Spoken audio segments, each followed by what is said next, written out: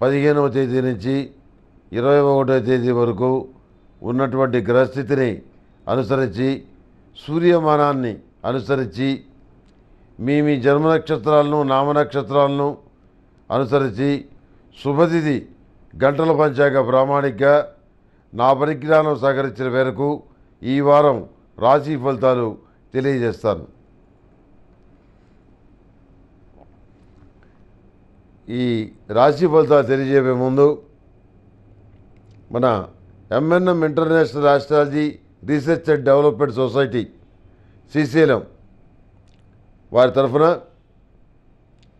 వాళ్ళు ఇచ్చినటువంటి ఒక రాజకీయపరమైన విశ్లేషణని మీ ముందు ఉంచుతాను.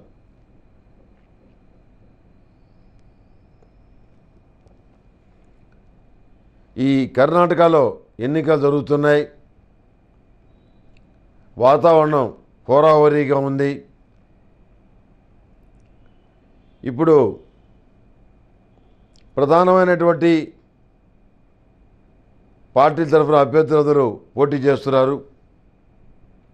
వాళ్ళలో ఒక్కొక్కళ్ళ జాతకంలో ఒక్కొక్క ప్రత్యేకత ఉంది.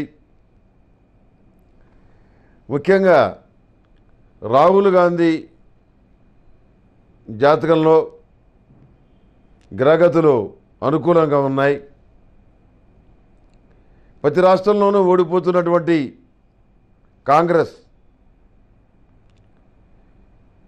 ఇతరత్ర విషయాలు ఎలా ఉన్నా కర్ణాటకలో మాత్రం బలం పుచ్చుకోగలదు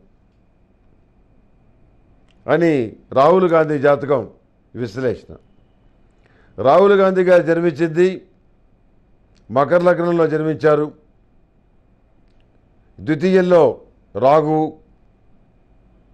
నాలుగింట లగ్న ద్వితీయాధిపతి శని పంచమంలో షష్టమ భాగ్యాధిపతి అయిన బుధుడు షష్టమంలో అష్టమాధిపతి అయిన రవి చతుర్థ లాభాధిపతి అయిన కుజుడు ఉన్నారు. పంచమ రాజ్యాధిపతి అయినటువంటి ఈ లగ్నానికి రాజయోగకారకుడైనటువంటి శుక్రుడు సప్తమంలో కర్కాటక స్థానంలో ఉండి లగ్నాన్ని వీక్షిస్తున్నాడు. అష్టమంలో కేతు ఉన్నాడు. దశమంలో తృతీయ వ్యయాధిపతి గురువు ఉన్నాడు. సప్తమ స్థానాధిపతి ఏకాదశంలో ఉన్నాడు. నీచ స్థితిలో ఉన్నాడు. ప్రస్తుతం రాహుల్ గాంధీ జాతకంలో ఎలిల్ శని నడుస్తోంది. అయినప్పటికీ కూడాను ఈ సిద్ధరామయ్య జాతకం గొప్పగా లేకపోయినా మిగిలిన కొంతమంది నాయకుల జాతకాలు అంత గొప్పగా లేకపోయినా ఈ రాహుల్ గాంధీ జాతకం ప్రభావం వల్ల కర్ణాటకలో కాంగ్రెస్ మొదటి స్థానంలో నిలిచే పరిస్థితి. స్పష్టంగా గోచరిస్తుంది. అదేవిధంగా రాహుల్ గాంధీ జనాకర్షణకు సంబంధించి ఈ కాంగ్రెస్ పార్టీని బలోపేతం చేయటం చేసే విషయం గురించి ఆయన చేపట్టినటువంటి యాత్రలు ఏవైతే ఉన్నాయో ప్రతి రాష్ట్రంలోనూ బలం పుంజుకునే ప్రయత్నాలు ఏవైతే ఉన్నాయో వాటిలో కర్ణాటక రాష్ట్రంలో తన బలాన్ని రుజువు చేసుకోగలుగుతారు. అదేవిధంగా మధ్యప్రదేశ్ మహారాష్ట్ర రాజస్థాన్ బీహార్ ఉత్తరప్రదేశ్లో కొన్ని ప్రాంతాల్లో కాంగ్రెస్ పార్టీ బలం పుంజుకుంటుంది ఈశాన్య రాష్ట్రాల్లోనూ బలం పుంజుకునే అవకాశం స్పష్టంగానే ఉంది. ఏది ఏమైనా ఒక్కడు మాత్రం వాస్తవం. రెండు వేల పద్దెనిమిది డిసెంబర్లో కానీ డిసెంబర్ లోపు కానీ ఎన్నికలు జరిగితే గౌరవనీయులు ప్రధానమంత్రి నరేంద్ర మోడీ గారు తిరిగి అధికారంలోకి వస్తారు. ఇక రాశి ఫలితాలు ప్రస్తావిస్తూ ముందుగా మేషరాశి. మేషరాశి వారికి అన్ని విధాలుగా మంచి ఫలితాలు గోచరిస్తున్నాయి. పట్టుదలకు పోయి సన్నిహితుల్ని దూరం చేసుకుంటారు.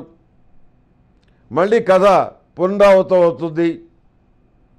నోటుకొచ్చినట్లా మాట్లాడటం ఆవేశంలో ఒళ్ళు తెలియకుండా మాట్లాడటం వాటికి క్షమాపణలు చెప్పడం ఇది వెయ్యిన్నో ఒకటోసారి అవుతుంది. పది మందిలో పలచబడతారు. మాట్లాడే విధానం సక్రమంగా ఉండే విధంగా చూసుకోండి. అదే కోణంలో ఎదుటి వాళ్ళని విసిగించడం ఎదుటి వాళ్ళు తెచ్చినటువంటి విషయాలు ఏవైతే ఉన్నాయో వాటి గురించి సమగ్రమైన పరిశీలన చేయకుండా విమర్శించడం తీసిపారేయటం మీకంటే వయసులో పెద్దవాళ్ళు కూడా గౌరవించకపోవటం లేకపోతే మీరు ప్రవర్తిస్తున్న విధానం గౌరవంగా లేకపోయిందని వాళ్ళు భావించడం ఇలా జరిగే పరిస్థితి స్పష్టంగానే ఉంది. ఏదో మీ మీద అభిమానంతో మీరు మంచి స్థానంలో ఉండాలని మంచి సంబంధం తీసుకొని వచ్చి బాగుంటుంది అని చెప్పినట్టే ఈ రాశిలో జన్మించిన స్త్రీలు ఆరడుగుల హైట్ లేడు. ఎర్రగా లేడు తెల్లగా లేడు. డబ్బులు ఎంత ఎంత సంపాదిస్తే మాత్రం ఏమిటి? అమెరికాలో గొప్ప న్యూమరాలజిస్ట్ అమ్మా అమెరికాలో పెద్ద న్యూరాలజిస్ట్ అమ్మా న్యూరో సర్జనమ్మా. మన తెలుగువాడమ్మా. చాలా బాగుంటుంది సంబంధం. మంచి సాంప్రదాయబద్ధమైన కుటుంబం. అతనికి డాక్టర్గా విశేషమైనటువంటి పేరు ప్రఖ్యాతులు ఉన్నాయి. నువ్వు కూడా పక్కన ఉంటే చాలా బాగుంటుందమ్మా. ఈ సంబంధం వదులుకోవాకంటే ఆరు అడుగులు లేడు కాబట్టి నేను ఆ పెళ్ళి చేసుకోవాలని చెప్తాను. ఈ రకమైనటువంటి పెళ్ళిళ్ళు చెడగొట్టుకొని చెడగొట్టుకొని చివరికి ఈరోజు ఏ సంబంధం రానటువంటి పరిస్థితి కొంతమంది విషయంలో ఏర్పడుతుంది.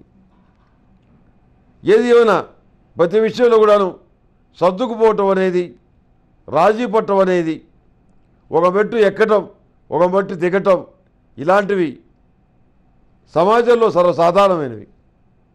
సమాజము ప్రపంచము అంటేనే సర్దుకుపోవటం.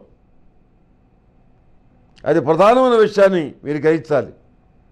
ఈ రాశిలో జన్మించిన వారు మరిన్ని మంచి ఫలితాలు సంపాదించడానికి ప్రతిరోజు ప్రతినిత్యం కూడాను అష్టమూలికా తైలతో దీపారాధన చేయటం మహాలక్ష్మీదేవికి దీపారాధన చేసేటప్పుడు లక్ష్మీ తామర ఒత్తులతో దీపారాధన చేయటం గణపతికి పూజ చేసేటప్పుడు తెల్ల జిల్లేడు ఒత్తులతోటి అష్టమూలి కాతాలతోటి దీపారాధన చేయటం చెప్పదగిన సూచన. అదే ఊర్లమశివాయ ఒత్తులతోటి శివుడికి అభిషేకం చేసినప్పుడు పూజా కార్యక్రమం చేసినప్పుడు దీపారాధన చేయటం అష్టములి చాలా మంచిది. సమస్తమైన సర్పదోషాలు పోవడానికి సర్పదోష నివారణ చూర్ణాన్ని ఉపయోగించండి. స్నానం చేయండి దాంతో మంచి ఫలితాలు ఉంటాయి. ఈ రాశిలో జన్మించే వారికి థిక్ స్కై బ్లూ కలర్ బాగుంటుంది. అదృష్ట సంఖ్య ఐదు.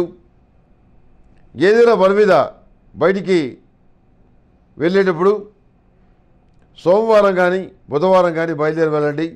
మంచి ఫలితాలు సంప్రాప్తిస్తాయి. ఏ పూజైనా ఏ నోమైనా ఏ వ్రతమైనా ఏ అభిషేకమైనా ఏ హోమమైనా ఆర్డర్ చేయండి. అందుకు అవసరమైన పూజా సామాగ్రిని డోర్ డెలివరీగా పొందండి. ఈరోజే మీ పూజా సామాగ్రి కొరకు ఈ పూజా స్టోర్ డాట్ ఇన్లో లాగిన్ అవ్వండి.